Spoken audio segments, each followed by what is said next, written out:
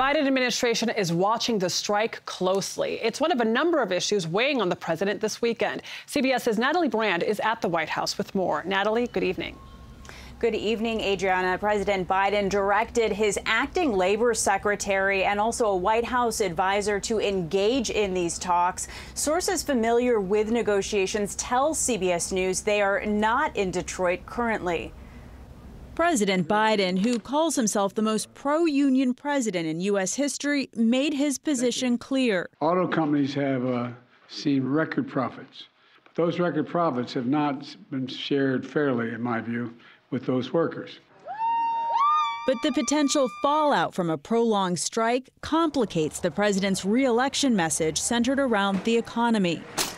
We're growing the economy. Though a new poll shows 70% of Americans believe the economy is getting worse, not better, adding to the concerns a looming government shutdown if Congress doesn't reach a budget deal by the end of the month. We're going to get this done.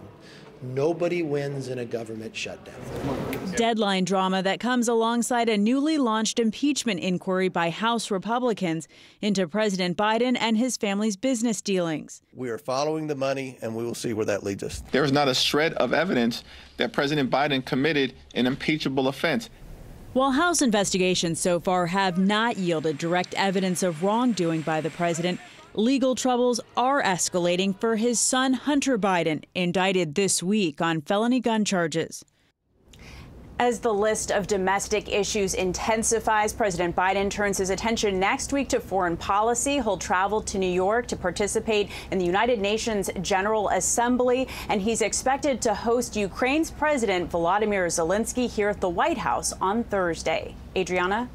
Natalie Brand, thank you.